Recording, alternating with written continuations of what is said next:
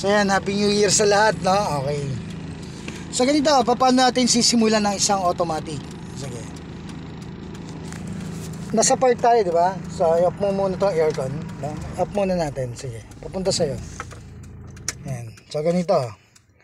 Pag i-start mo siya, sige, sinalpak mo yung susi, tapat mo muna. Sige, isa pa. So, iilaw yan. So, pag nawala yung orange, no, start mo na. Okay, bitaw. So, nung nag-start na, buksan mo itong aircon. Okay.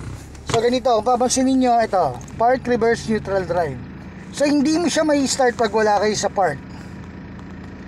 Dito tayo mag-start, dyan tayo mag-stop ng engine.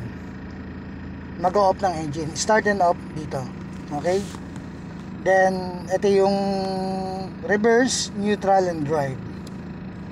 Then, ito yung secondary and low gear. So, 3, 2, 1, kumbaga. So, pag kailangan mo lang i-push to pag mag-shift ka. Sa practice tayo ha, dalawa lang ang tinatapakan sa automatic. Brake and gas. So, tapat mo sa brake. Okay, tingin sa malayo ha. Okay. Then gas, brake. Sundan mo ako ha. Dahil pag sinabi kong brake, tinapakan mo gas na may tumakbong bata, patay ang bata. Sige, brake, gas, gas, brake, gas, brake. So, bawal magkamali. Yung instructor nyo, kailangan nyo susundin. So, ang default mo lagi is brake. Nasa brake ka dapat. Hindi ka lagi nasa gas. Okay? Sa practice ha, sa mas mabilis. Sige, brake. Oh, mali na kagad. Patay ang bata, di ba? Patay na agad yung bata pag gaganon. Sige. Brake. Gas. Brake. Brake. Gas. Gas. Oh, di ba? Buhay yung bata, no? kasi nahinto mo eh. Sige, okay. Gas. Gas. Relax ka lang kasi. Kumalma ka lang. So, gas. Brake. Gas. Bitaw mo yung gas. Automatic na sa brake. Sige, gas. Bitaw ng gas. Automatic na sa brake. So, sasanayin mo pa mo lagi nakatapat sa brake. Ibig sabihin, itatapat nyo lang ang paa nyo sa gas kapag kabibilis kayo. Ibig sabihin, pag tumapat ka ng gas, ididiin mo yun. Pabibilisin mo yun. Yun yung purpose nun. Then, pag mo ng gas, sig- ng, pag, pagtapos mo mag-i-accelerate, no, pag angat ng paa mo, siguraduhin mong hindi nakatapat sa gas. Siguraduhin nyo nakatapat sa brake kung ayaw nyo makapatay. Nawa nyo, napakasimple nun. So, sa handling naman, ito. So, isang ikot ng kaliwa. So, ito yung logo. Ito yung pinaka-tweed natin point. Ayan, part. Sige, isang ikot ng kaliwa. Relax na nga. Sige, ikot mong kaliwa. Isang ikot. Buhay mo isang ikot. So, ganyan dapat yung bagsak. Okay, balik mo. Isang ikot din.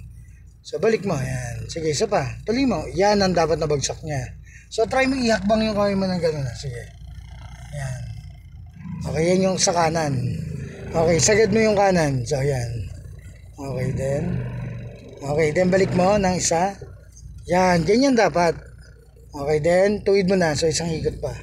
Sige, tuloy mo. Yan, okay na. Sige, okay. Then, isang ikot ng kaliwa. Huwag mo tingnan para hindi ka mahirapan. Sige, isang ikot ng kaliwa. So, yan yan. Yan, okay. Then, balik mo isang ikot. Tanda mo yung hakbang. So, ganito ha. Ang isang ikot ng kaliwa, ito. Ikot mo kaliwa. Ito yung hakbang mo. Dito. Dakutin mo siya dyan. Yan. Yan ang isang ikot nun. Balik mo. So, isang ikot. Hakbang mo rin yung kamay mo. Yan yung isang balik nun. Tingnan mo. Tingnan mo siya. Ayan o. Tingnan mo muna. Sige, kumapit ka rito. Sige, tingnan, tumingin ka muna rito. Sige. Ikot mong kaliwa. Isang, isang ikot ng kanan.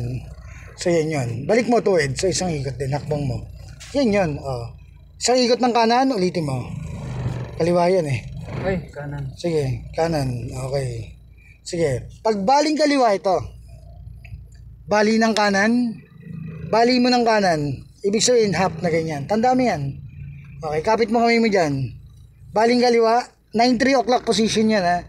Bali ng kanan. Tuwid. Bali ng kaliwa. Tuwid. Bali ng kaliwa. Tuwid. Bali ng kanan. Tuwid. Bali ng kaliwa. Bali ng kanan. Kanan. Hindi naman tuwid eh. O, di ba? So, bawal magkamali kahit isang parte. No? Lahat ng ginagawa sa pagmamaneho, bawal kayo magkamali. Sige. Practice sa baling kaliwa. Bali ng kanan.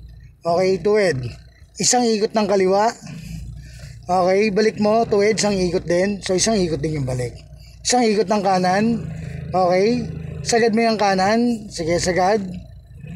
Bawas ng kalahati. Sige, okay din. Tuwid mo na. So, isang ikot pa. Di ba? So, yan yan, kumbaga. Parang yan yung ikot niyan. So, simula pa lang naman yan, kumbaga. So, ngayon, kombinasyon na. So, iba yung tatrabahuin ng paa mo, iba yung tatrabahuin ng kamay mo. Iba rin tatrabahuin ng mata mo. Then, na magkocontrol yan, yung utak mo. Nakuha mo? Yung isipan mo, siya yung magkocontrol sa lahat ng yan, no? Then, iba rin trabaho ng mata mo, iba rin trabaho ng tenga mo. Tama? Then, yung pakiramdam mo, gagamitin mo rito. Nakuha mo? So, yung kompletong galaw, no? Lahat ng sense, no? Pati, number one, na kailangan dito, ano?